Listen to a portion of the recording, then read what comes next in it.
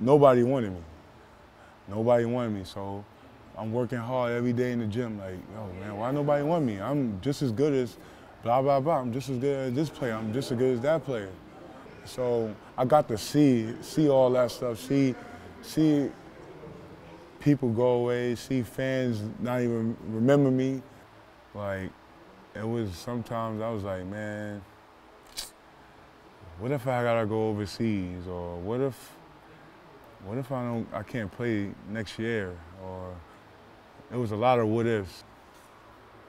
It was I, went through a tough period when I, I hang my head, but but when I'm out in public or when I'm out around my teammates, I'm, I have the same energy as, man, I'm good. I'm just as good as you. I'm just I could bring a lot to this to the table. I could definitely help the team. So, I mean, just staying staying confident and staying strong was definitely a, played a part.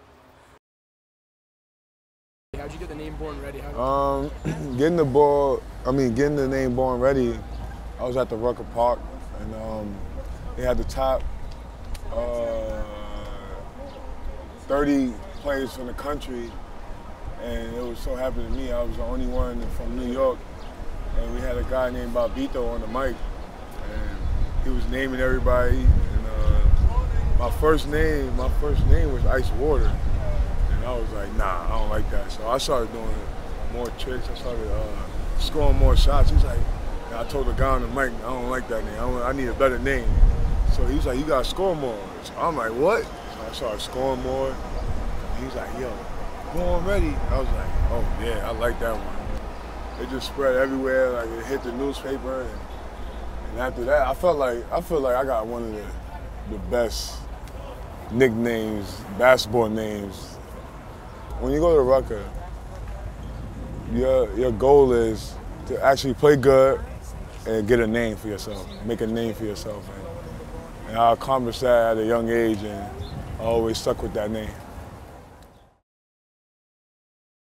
talk about like LeBron being like a, like a cheat code kind of like a basketball computer and like a basketball genius. Can you speak to that? Like you just mentioned him calling out. I mean, it's I, I mean it's definitely tough because I, I watched an interview where he explained eight minutes of the whole quarter. I'm like, bro, he's how is how is he playing the game right now? Like he remember every play. He remember what happened, what player did it, Man, that's that's hard. I mean, I, I mean, like I forget it. I forget a, a, a play that happened four possessions ago. Like I'm like, man, I, I ain't worried about that.